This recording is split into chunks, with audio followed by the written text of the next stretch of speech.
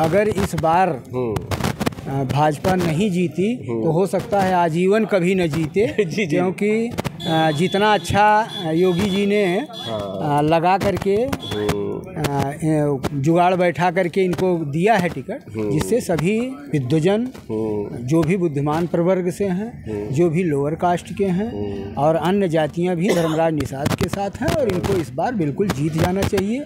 अगर इस बार भी ये नहीं जीतते हैं ऐसा नाइन्टी नाइन परसेंट है कि जीत जाएँगे। लेकिन यदि इसमें भी लोग आगा- दाएँ बाएँ हुए तो हो सकता है कि शायद भाजपा कभी ना कटेहरी विधानसभा से जीत पाए। भाजपा थोड़ा नमस्कार, इस समय हूँ कटेहरी विधानसभा में। जैसा कि आपको पता है कि चुनावी सरगर्मियाँ तेज हैं। तेरह नवंबर से कटेहरी में चुनाव होना है। और यहाँ पर नामांकन के बाद अब प्रचार ज़ोर शोर पकड़ लिया है। यहाँ से भाजपा से धर्मराज निषाद जी को टिकट मिला है। सपा से शोभावती वर्मा, लालजी वर्मा की पत्नी को टिकट दिया गया है। अमित वर्मा एक दमदार प्रत्याशी बीएसपी से भी आया है। ये भी बता दें कि आप अंबेडकर नगर जो है, एक समय में बीएसपी का गढ़ रहा। उसके बाद अब सपा का गढ़ रहा। शुरुआत जो हुई थी कांग्रेस और बीजेपी की, लेकिन बहुत बड़ा दुर्भाग्य है कि इस विधानसभा में डिसाइडिंग फैक्टर ब्राह्मण तो माना जाता है। लेकिन इक्यानवे से का बाद कभी ब्राह्मण प्रत्याशी जीता नहीं। उसमें एक अंतर्द्वंद कह सकते हैं। यहाँ पर चूँकि जब ब्राह्मण कैंडिडेट कोई आता है तो उसमें क्षत्रिय सपोर्ट नहीं करता है। क्षत्रिय तो कभी आता है, ब्राह्मण नहीं इन दोनों कभी एक नहीं हो पाए। इसलिए अब की बार भाजपा ने ऐसा कार्ड खेला है कि तुम जाओगे तो कहाँ जाओगे? इसलिए ऐसे कैंडिडेट को दे दिया है धर्मराज निषाद को, कि जो डाइजेस्टिक कैंडिडेट कि मतलब पचाया जा सकता है, न बहुत तेज़ तर्रार हैं, न बहुत ढीले हैं। उनको न जीतने से, न उनके हारने से कोई बहुत ज़्यादा फ़र्क नहीं पड़ने वाला है। ढाई साल का चुनाव है। कुछ लोगों से आप कैमरा मैंने चर्चा करते सुना कि ब्राह्मण थोड़ा नाराज़ हैं, लेकिन ब्राह्मण जाएँगे कहाँ? हमारे साथ ब्राह्मण यहाँ पर कुछ बुद्धजन लोग बैठे हैं। इनसे मैं बात करने की कोशिश करता हूँ। चन्हा चौराहे पर हूँ, सर। परिचय सर मैं जगदीश तिवारी ग्राम गिरधरपुर बिझौड़ा अंबेडकर नगर से हूँ। मैंने जैसा कि इंट्रो में ही बता दिया था बहुत कुछ तो मैंने अपनी तरफ़ से बोल दिया था। क्या लगता है चुनाव किस दिशा में जा रहा है? चुनाव अगर इस बार हम्म, भाजपा नहीं जीती तो हो सकता है आजीवन कभी न जीते जी, जी। क्योंकि जितना अच्छा योगी जी ने अ, लगा करके हम्म, जुगाड़ बैठा करके इनको दिया है टिकट जिससे सभी विद्वजन हम्म, जो भी बुद्धिमान प्रवर्ग से हैं जो भी लोअर कास्ट के हैं और अन्य जातियाँ भी धर्मराज निषाद के साथ हैं और इनको इस बार बिल्कुल जीत जाना चाहिए। अगर इस बार भी ये नहीं जीतते हैं ऐसा नाइन्टी नाइन परसेंट है कि जीत जाएँगे। लेकिन यदि इसमें भी लोग आगा- दाएँ बाएँ हुए तो हो सकता है कि शायद भाजपा कभी न कटेहरी विधानसभा से जीत पाए। भाज थोड़ा ब्राह्मण नाराज़ भी थे सुनने में आ रहा नहीं ऐसा कुछ नहीं है। वो कुछ लोग देखिए हंड्रेड परसेंट कहीं भी कुछ भी नहीं होता है।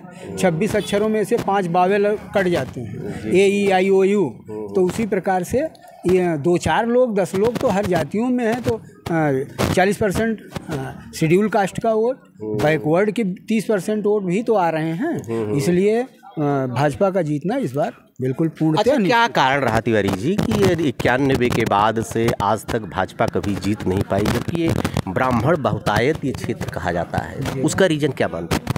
अब इसका तमाम रीजन इसमें आते हैं फैक्टर दो तीन बार ब्राह्मणों कैंडिडेटों को ले आया गया। कुछ बार तो अन्य पार्टियों से आकर के डायरेक्ट टिकट पा गए।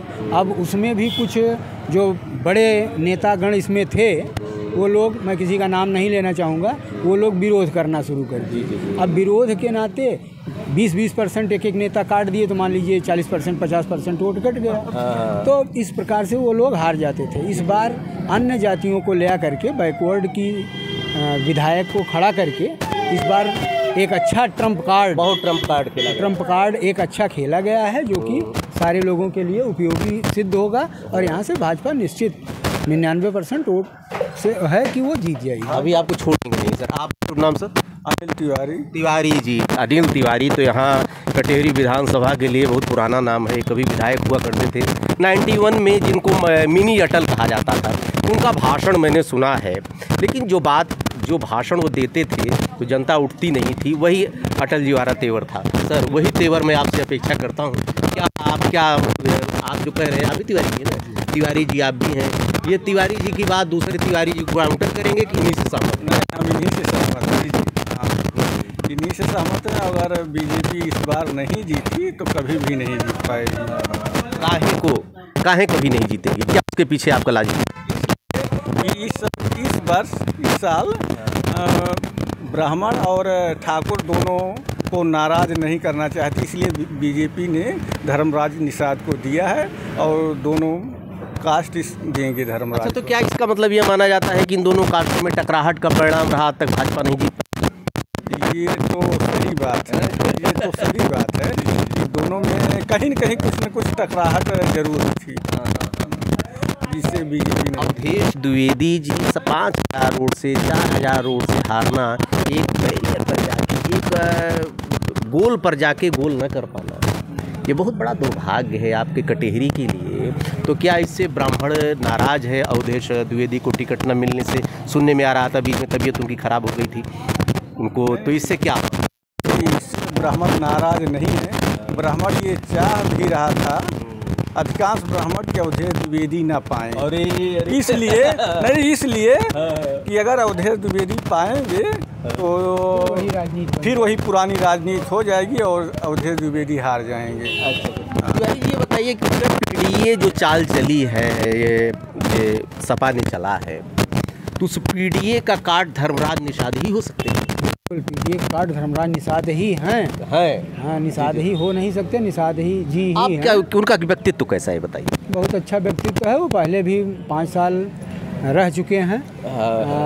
दो बार विधायक वहाँ से कटेहरी विधानसभा से ही और तीन- तीन बार रहे हाँ तीन बार रहे हैं। बसपा से जो है वो कैंडिडेट बसपा से थे वो हम्म। लेकिन जो है उस समय ठीक था उनका व्यक्तित्व अच्छा था वो हर जातियाँ उनको सपोर्ट करती हैं। माना जाता है धर्मराज निषाद के बारे में जो उग्रता की राजनीति एक समय में बीएसपी किया करती थी उस समय विधायक होते हुए भी उन्होंने कोई उग्रता नहीं नहीं नहीं कोई उग्रता उन्होंने दिखाई वो आ, हम हमको ऐसा लगता है कि वो आ, सारी जातियों का सारे लोगों का सारे जनों का वो जो है वो सुनते हैं हाँ। और सारे लोगों को देखभाल करेंगे और हो सकता है कि वो आ, अच्छा प्रत्याशी सिद्ध हों। हाँ, कुछ आप हमारे कहना चाह रहे हैं कुछ कहना नहीं कहना कुछ नहीं चाह रहे हैं कि इस बार बीजेपी यहाँ से जीतेगी इसमें कोई संदेश नहीं है। और फिर वही बात कहते हैं कि अगर नहीं जीतेगी इस बार तो कभी भी नहीं जीत पाएगी। आप दोनों तिवारी लोग हैं, जहाँ तक आज कहा जा रहा था कटेही में ब्राह्मण नाराज़ हैं, लेकिन एक ब्राह्मण एक बुद्धिजीवी वर्ग होता है, वो विश्लेषण करता है। खुद कुछ पल के लिए हो सकता है अवधेश द्विवेदी के टिकट कटने कटने कटने की वजह से भावुक हो गया है। लेकिन जो गणित चल रहा है, जो आज के समय में राजनीति जातीयता की चल रही है, जो पीडीए लेकर आ रहे हैं, इसका काट सिर्फ़ धर्मराज निषाद ही हो सकते हैं। और जैसा कि दोनों तिवारी बंधुओं ने कहा कि धर्मराज निषाद, जब बीएसपी में भी थी तो उनकी पॉलिटिक्स ऐसी कोई नहीं रही कि यहाँ पर कोई आदमी उनसे नाराज़ रहा हो, इसलिए उम्मीद करते हैं कि जैसा आपने कहा कि भाजपा का पलड़ा 21 हो सकता है लेकिन ये चुनाव है। 24 घंटे पहले क्या समीकरण बने बिगड़े? और मुँह में जैसे कहा जाता है सांपिन हो। तो उन क्या बोल दे? एक एक शब्द में चुनाव कहा। आपको तिवारी जी। धन्यवाद। आपको। इन लोगों का समय मैंने लिया। आठ मिनट मांगा था लेकिन बारह मिनट चार मिनट ज़्यादा धृष्टता से ले लिया ढेर सारी।